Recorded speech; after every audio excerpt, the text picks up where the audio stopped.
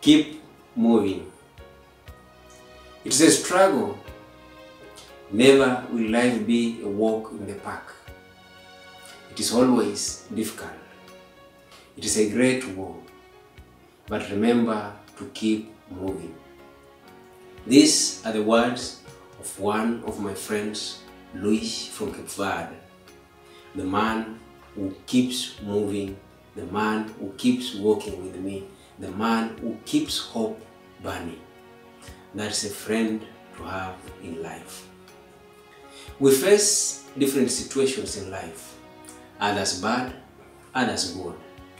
We feel demoralized sometimes, but sometimes we are encouraged from what we encounter on our way in this life.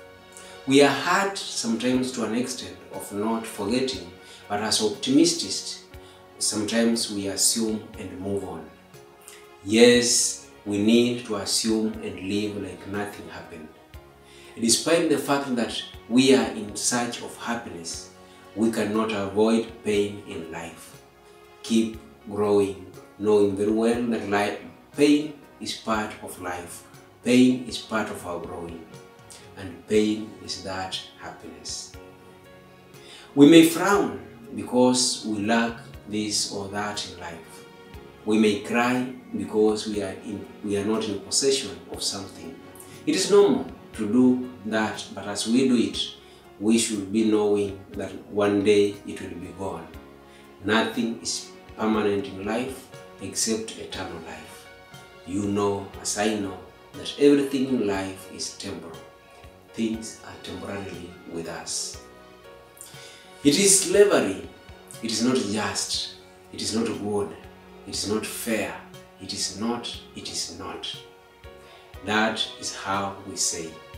Always in recitation of litany of lamentations. Always crying foul. Blaming and rebuking. No one wants to accept, but to change, we must move on. We must carry on. We must just accept and move to the next level. Worrying and lamenting changes nothing with and in our lives. You must have been hurt, just like I was hurt. You might have been made bitter. You might have been provoked in life. You might have been kicked hard. You must have been humiliated. You might have been rejected. You might have been bullied. You might have been denied justice. You might have been, you might have been. Your history might be black. You might not even want to remember the past that is full of scars. Scars you would not like to see or touch again. Your past might be frustrating itself, but it represents something big. It is a big deal in life. Do not despise your past. Do not dislike your past. Do not ignore your past. Your past molds you into something good. The scars remain precious. Your scars are symbols of your strength. Life is a struggle, as Luís will tell me sometime. Life is a journey of ups and downs. Life is a challenge. Life is death. Life is difficult. But every struggle counts. Every action in life counts. Every passage in life is a step forward in life. Even death is a step to something else. Every struggle is part of life. Do not abandon your any struggle. Do not neglect any struggle in life. Do not stay there without struggling. Do not sleep and expect miracles. Struggle. Sacrifice yourself.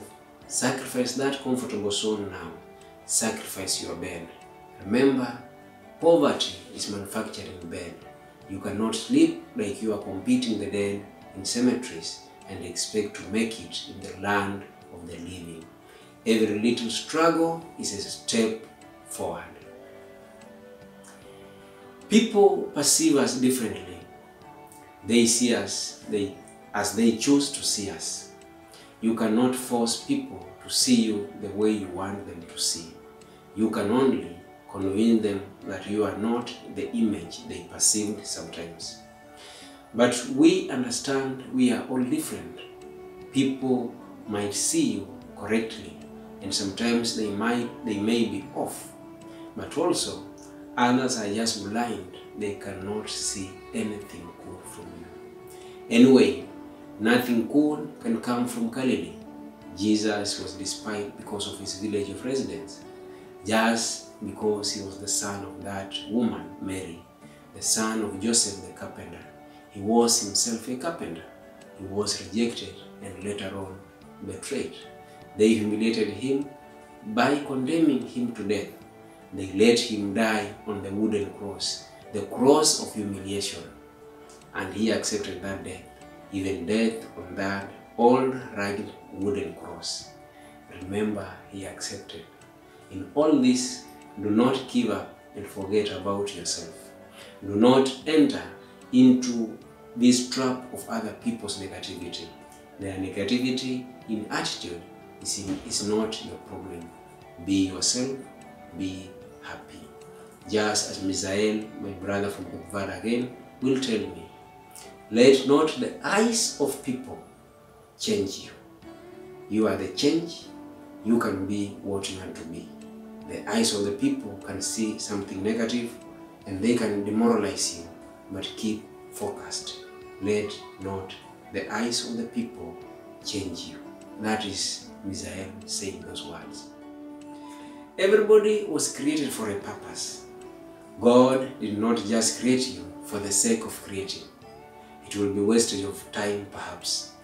God had and has a purpose for every one of us here on earth. Your purpose is valid and no man can make it invalid.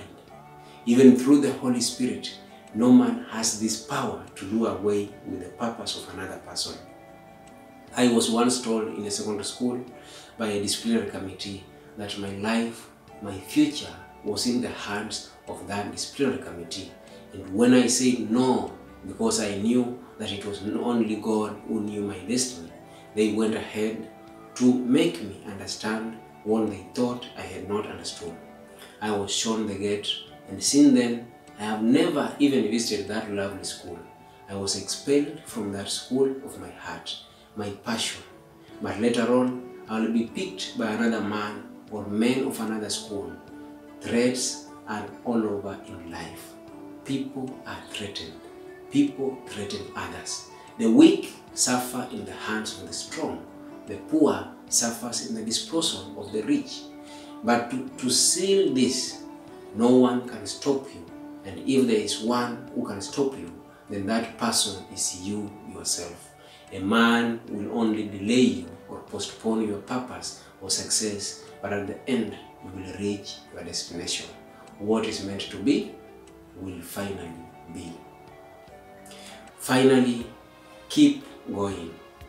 Never stop. Never doubt. And even if you are in doubting, keep moving in that doubt. You have to keep moving.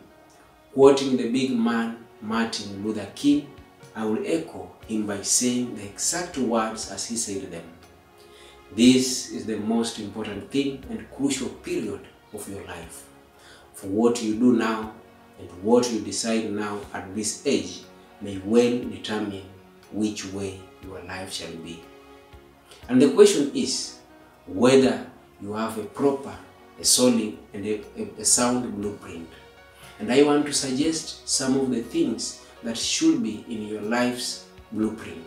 Number one in your life's blueprint should be a deep belief in your own dignity, your own worth, and your own somebodyness. Do not allow anybody to make you feel that you are a nobody. Always feel that you count.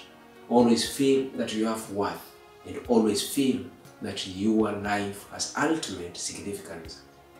Secondly, you must have a basic principle, the determination to achieve excellence in your various fields of endeavor. You are going to be deciding as the days and the years unfold what you will do in life, what your life's work will be. Once you discover you discover what it will be, set out to do it and do, do it well. Be a bush if you cannot be a tree. If you cannot be a highway, just be a trail. If you cannot be the sun, just be a star. For it's not by size that you win or you fail. Be the best of whatever you are. To conclude, there must be a commitment to the eternal principles of beauty, love, and justice. Well, life for none of us has been a crystal stair, but we must keep moving. We must keep going. If you cannot fly, run. If you cannot run, walk. If you cannot walk, crawl. But by all means, keep moving. Keep moving, keep going.